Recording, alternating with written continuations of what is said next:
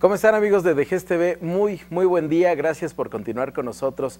Oigan, les recuerdo, por favor, no se les olvide eh, que tenemos un nuevo Facebook. Estamos ahora como DGEST Educativa. Así que por favor, entren y regálenos un like para que ustedes estén enterados de todas las actividades que estamos llevando día a día. Y, por supuesto, para que ahí le den like a las publicaciones que hacemos de eh, cuando ustedes hacen alguna participación con nosotros. Y en todas las demás redes sociales como de Gest Media, así es como aparecemos, a excepción de Facebook. Así que por favor, denos un like. Yo soy Ricardo Martínez y de verdad me siento muy complacido de que esta tarde nos acompañe el maestro en letras mexicanas, Salomón Villaseñor. Maestro Salomón, gracias por estar con nosotros, bienvenido. Al contrario, Ricardo, gracias a ti. Gracias a ustedes por invitarme. Y bueno, pues me da mucho gusto estar en este programa con ustedes, que no es el primero, ya teníamos por ahí un antecedente. Muchas gracias nuevamente. Estuvieron en radio, eh, Con, nuestra eh, querida Alma Torices, que por cierto está eh, atrás de cámaras, que está un poquito enfermita. Alma, gracias por estar con nosotros. Que por cierto, les adelanto, ya va a estar nuevamente. Recordarán ustedes ese programa buenísimo que tenía Alma llamado Armando Dramas. Bueno, pues ahora Alma regresa nuevamente a The Gest, a Media con algunas cápsulas, así que próximamente la van a seguir viendo por acá. Eh, maestro Salomón, vamos a platicar acerca de un tema importante, de algo que nos vienes a platicar y es el silencio y sus conjuros. ¿Qué es el silencio y sus conjuros? El silencio y sus conjuros es un libro inédito que hace aproximadamente unos cuatro meses, terminó, bueno, sigue en proceso de revisión, pero eh, es un libro que pretende hablar del silencio a partir del ruido. Eh, todos nos han vendido la idea de que somos más felices entre más ruido hagamos, pareciera. Y la idea del libro es de repente hacer conciencia de que detrás de ese ruido detrás de todo eso que es estridente, detrás de todo eso, eh, música, de esa movida que nos pone la vida, siempre hay un silencio. Es muy cierto lo que, lo, que comentas. Eh, me tocó ver una publicidad, ya ves que ahora en, redes sociales, en YouTube, en Facebook, eh, ponen, recuerda cómo eras, ¿recuerdas cómo eran los comerciales de antaño? y me puse a verlos, ¿no? Entonces ahí salen los de los pastelitos, los de las botanas, y me tocó ver uno que decía, eh, deja el ruido, deja el silencio a un lado, llega a la Ciudad de México, al, Distrito Federal a vivir, vendían casas en aquellos años, un comercial me parece que de los setentas, o sea, ya estaban ofreciendo el ruido, y ahora es al revés, ahora, ahora te ofrecen que compres una casa en provincia, para que te aísles del ruido, ¿no? Efectivamente, antes el silencio era un mal a combatir. Yo no sé si un mal, pero sí era algo que... Se pudo eh, vender así, ¿no? Se pudo vender este, en mercado técnicamente muy bien, porque había que estar vivo, había que estar en el ruido, había que estar en las grandes ciudades, que siempre tenían esta estridencia, ¿no? Y esa era una manifestación de estar vivo. Sin embargo, ahora te venden, ¿y a qué precio? todo mundo queremos un momento de paz. Sí, la tranquilidad. La tranquilidad y cuesta muy caro ahora. Lo que antes costaba caro el ruido, ahora es a la inversa. ¿no? Y a partir de ahí pensé que eh, ese silencio que, del cual gozaban algunos poetas en Edad Media, el siglo de oro, de ese silencio que hablan, de estar con uno mismo, de tener la capacidad de reflexionar sobre la palabra, sobre las emociones, sobre el contexto. Eh, incluso había, o hay un autor que dice, me alejaré, bueno, lo parafraseo, ¿no? Del mundanal ruido, ¿no? Que busca siempre el, el espacio del silencio. Y a partir de ahí, pues empecé a escribir esto que nace directamente con una experiencia personal, familiar, que ahorita este, pues está muy latente, pero que empieza como una bola de nieve y se va desencadenando una serie de silencios, eh, o de visualizar o de escuchar esos espacios donde no hay nada y donde puede haber todo. Eh, entonces, la idea concreta es la estridencia, es una manifestación en realidad del silencio, paradójico. Muy cierto. ¿Cómo comienzas a escribir?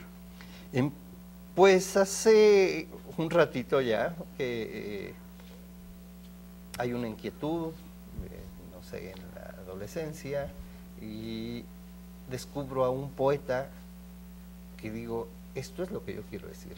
El poeta, por supuesto, es José Carlos Becerra.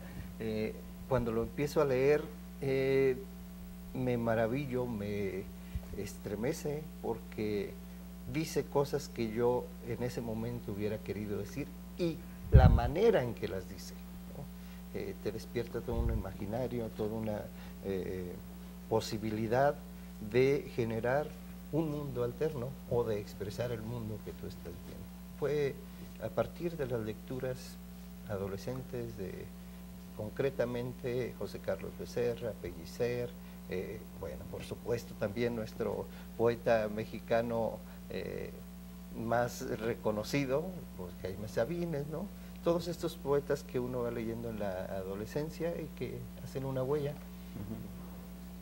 Después ya considero que esto tiene que ser más en serio, porque al principio era un juego y además a nadie le decía yo que escribía porque me daba hasta bochorno, pero después ya eh, asumo que es una manera de ver la vida y de plantarte ante la vida.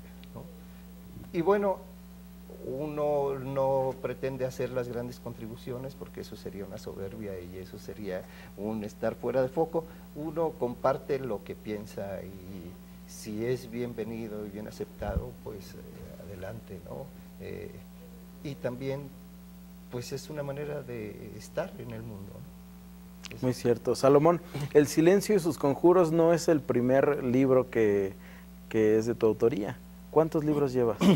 Pues hay alrededor de unos cinco. Eh, son plaquet, porque tampoco soy un escritor que escriba con una disciplina de todos los días. creo que hay que alternar entre la escritura y, y el vivir. Si bien la escritura es una manera de vivir, pues también el asunto cotidiano nos da elementos para transformar esa realidad que vemos. Son como cinco libros, eh, aproximadamente está unas pequeñas plaquettes que es eh, El mar donde vivo ahogado, El guardián de los jardines, eh, libros colectivos, La cordillera de sombras con algunos compañeros de la universidad también. son prácticamente unos cinco. Que por cierto tenemos uno, uno aquí, este, creo que no se alcanza a ver muy bien en la cámara, pero ahorita como de cualquier manera lo ponemos, que es Azul, Azul en Llamas del 2002. 2002. Voy a mostrar aquí, seguro que ahí ya lo, ahí ya lo pueden, lo pueden ver, seguro estoy. Y platícanos por favor acerca de lo que tengo yo en mi, en mis manos. Fíjate que ese fue un, es una plaquetita que inicialmente yo publiqué como, como de, autor y un amigo generosamente después hizo esta edición y me dijo, te la regalo, ten. Entonces todo el tiraje me lo regaló.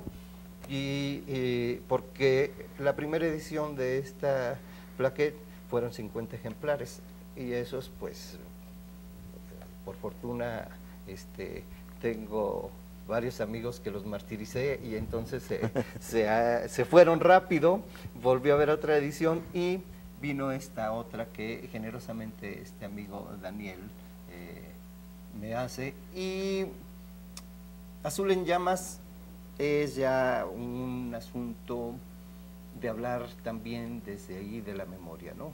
Y este, un poco ciertas revelaciones que uno va descubriendo donde la verdad pues lo apabulla uno, ¿no?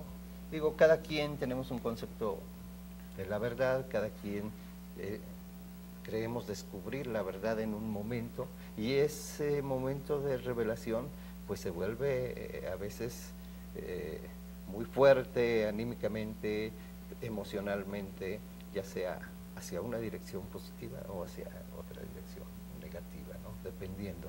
Pero es cuando hay esa revelación y, entra el conocimiento, uno se queda deslumbrado. Y citaremos tampoco las... Quiero decir que, es un estado místico, pero eh, nos acordaremos ahí de San Juan de la Cruz cuando dice, uno se que, que queda balbuceando, ¿no? O sea, es tan difícil transcribir la experiencia de una revelación que por ahí hay una línea que dice tanta luz este, me enseguece. Es un poco también eh, el azul en llamas. Te voy a hacer una pregunta, nos eh, platicas y vamos a hacer después una, una pauta comercial. Ajá. Y cuando regresemos de este, de esta breve, de este breve corte, vamos a, a, conocer un poco del silencio y sus conjuros. ¿Te parece bien? Me parece muy bien. ¿A quién le escribes, Salomón? ¿A quién le escribo? Ah, eso es una muy buena pregunta. Ojalá la intención es escribirle a la humanidad y uno termina pensando en que hay un interlocutor en algún momento en la vida que va, eh, en mi tiempo decíamos una botella al mar, ¿no? Siempre hay alguien que tal vez sea un lector por venir, como diría Blanchot, a ese lector que no sabe uno en qué momento de la vida este, se topará con algunas líneas si es que logran tener una trascendencia o no, aunque sean intrascendentes, pero hay momentos que eh, pues quedan ahí marcados y que ojalá eh, los que compartimos esto o los jóvenes este, lo lean. Escribo para un lector por venir. Muy bien, con esta respuesta vamos a hacer una breve pausa y cuando regresemos vamos a conocer la obra de Salomón Villaseñor llamada El silencio y sus conjuros. Estás en DGS TV, recuerda DGS TV, te voy aprendiendo. Regresamos. Oye, ¿y cómo es tu novio? Ah, a veces es lindo, es tierno. Solo que pues cuando le sale su lado mala onda, es celoso, agresivo, es otro. Ya no sé qué hacer. Actúa, no dejes que te haga daño. Pide orientación y ayuda. Por una vida libre de violencia.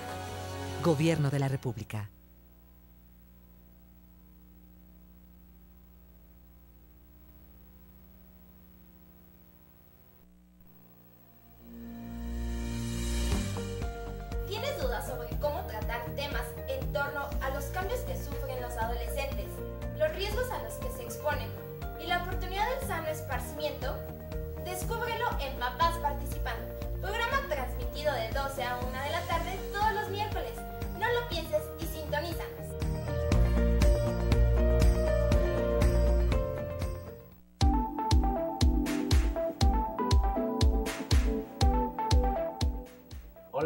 Amigas, ¿cómo están? Les saluda Jorge Escamilla H, escritor y autor del libro La Sociedad Moderna y los invito a que sigan ahora el programa La Sociedad Moderna TV por Dejes Media, donde con ayuda de nuestros invitados vamos a explicar diferentes temas como puede ser las diferentes generaciones, los millennials, la generación Z, la generación X, el papel de la mujer durante los últimos 30 años, vamos a hablar un poquito de la educación en este caso para la generación Z entre muchas otras cosas más. Los invito a que nos sigan los lunes de 12 y media a 1 aquí por Dejes Media y en las redes sociales, obviamente, me encuentran como Jorge Escamilla H.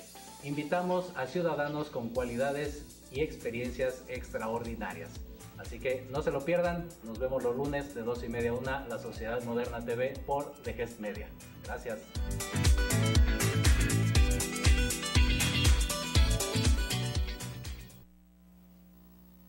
Ya estamos de regreso con Salomón Villaseñor y vamos a escuchar de viva voz el silencio y sus conjuros. Adelante. Muchísimas gracias. Mira, tiene dos epígrafes que yo supongo y creo que nos ayudan a entender un poco el silencio y sus conjuros. Uno es de Eduardo Lizalde. Hay un tigre en la casa que desgarra por dentro al que lo mira y solo tiene zarpas para el que lo espía y solo puede herir por dentro y es enorme. Sé claramente que hay un inmenso tigre encerrado en todo esto, Eduardo Lizalde. Y otro de Juan Rulfo. ¿Qué es? me dijo. ¿Qué es qué? Le pregunté. Eso, el ruido ese. Es el silencio. Juan Rulfo Lubina.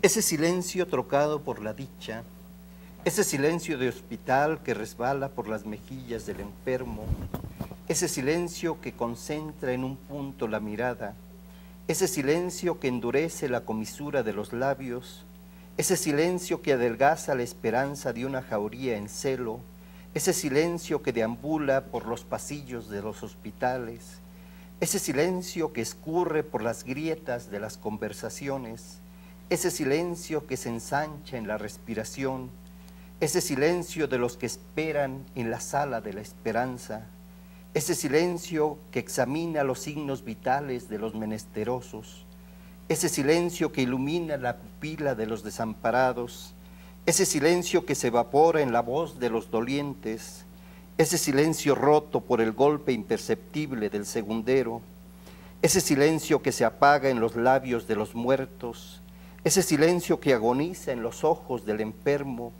ese silencio herido por la dicha, ese silencio que aletea contra los cristales, ese silencio que se hace un nudo en la garganta, ese silencio frágil que respira en los escombros, ese silencio que devora con sus ruinas, ese silencio débil que se acumula en las horas frente al espejo, ese silencio que se anuncia en los muelles con su sirena ululante, ese silencio que avanza entre la niebla, ese silencio que navega sobre el borde dorado de la infamia, ese silencio que se acerca como un gran buque que rasga el horizonte, ese silencio anclado en los muelles del recuerdo, ese silencio que habita en las arterias, ese silencio que ruge en las entrañas, ese silencio que se asfixia en la resignación, ese silencio del sístole y el diástole de los suspiros, ese silencio que gatea noche a noche sobre el tapanco,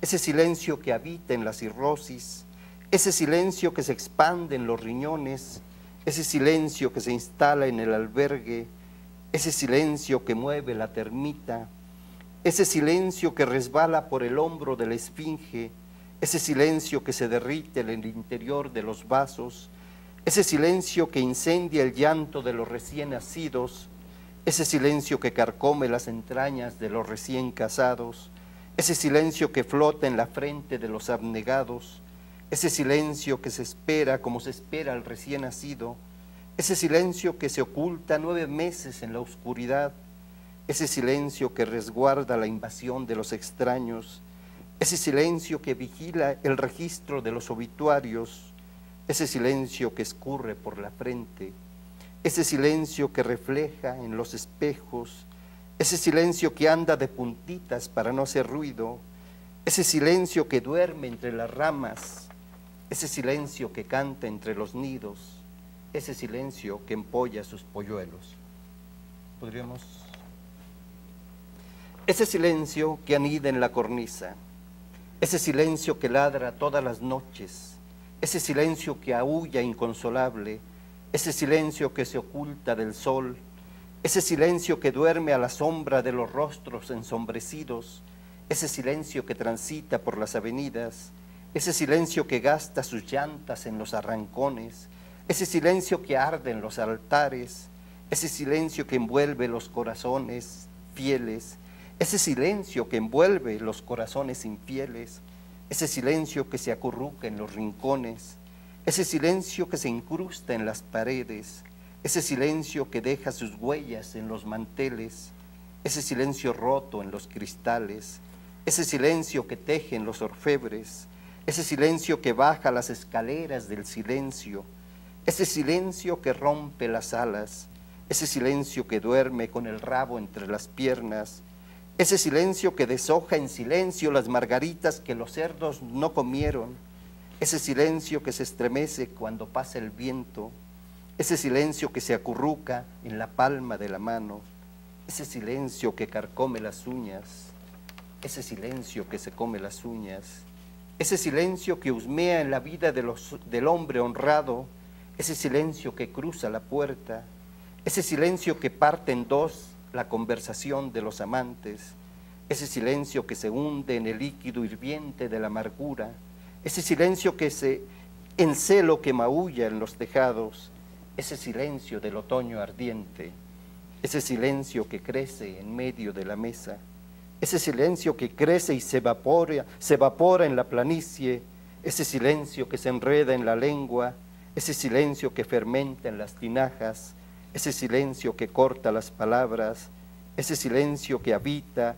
en la punta del cuchillo, ese silencio redondo de los fusiles, ese silencio cómplice del crimen, ese silencio que enmudece a la víctima, ese silencio que florece en la herida, ese silencio que gangrena los huesos, ese silencio que baja la mirada, ese silencio que baja por la sonda, ese silencio que eriza los cabellos, ese silencio erizo, ese silencio que garabatea por los hogares, ese silencio que se hunde en los cimientos, ese silencio que desciende de las nubes, ese silencio de la piedra universal, ese silencio blanco de los sepulcros, ese silencio insomne que penetra los cuerpos, ese silencio que quema los huesos, ese silencio de los cuerpos calcinados, ese silencio de los muertos, ese silencio de los rostros degollados, ese silencio que se consume en las goteras, ese silencio de las tempestades,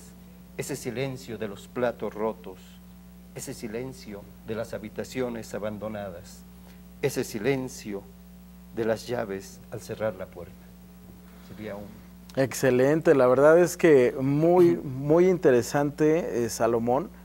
Y bueno, vamos a invitar a, la gente que nos está viendo, a los alumnos, a los padres de familia, a los docentes, a la presentación de este libro, El silencio y sus conjuros. ¿En dónde lo vas a presentar? El libro es un libro inédito que se va a presentar el día lunes, el próximo lunes 12 de marzo, a las 7 la cita es a las seis y media para que podamos charlar un poco. A las siete en la Casa del Poeta, Álvaro Obregón 73, en el Café Bar Las Hormigas, hay que subir. Eh, ¿Colonia Roma? En la Colonia Roma, efectivamente.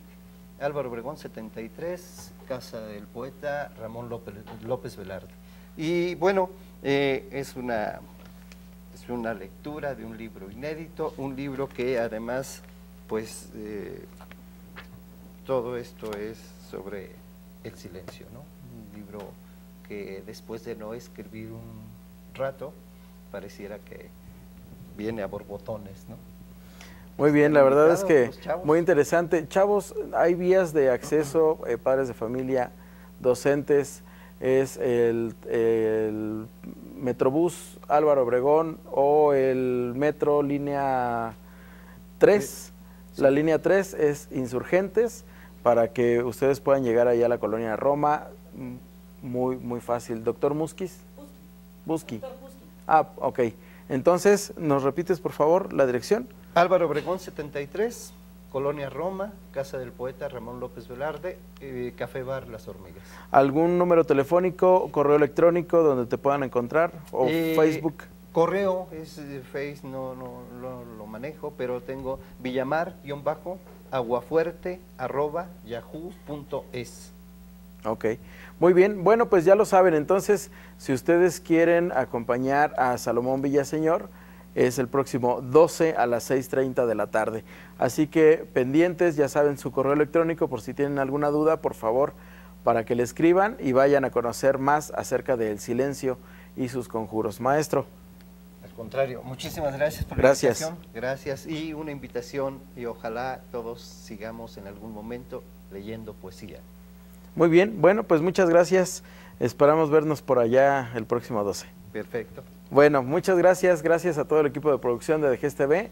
Yo soy Ricardo Martínez. Continúa con la programación que tenemos diseñada para ti. Y no me quiero ir sin antes dar un agradecimiento muy especial a nuestro director general, el licenciado Manuel Salgado Cuevas, por las facilidades que nos brinda para poder realizar este y todos los programas. Nos vamos, continúa porque viene Alianza por la Paz. Ya está por acá Carlos. Continúa con nosotros.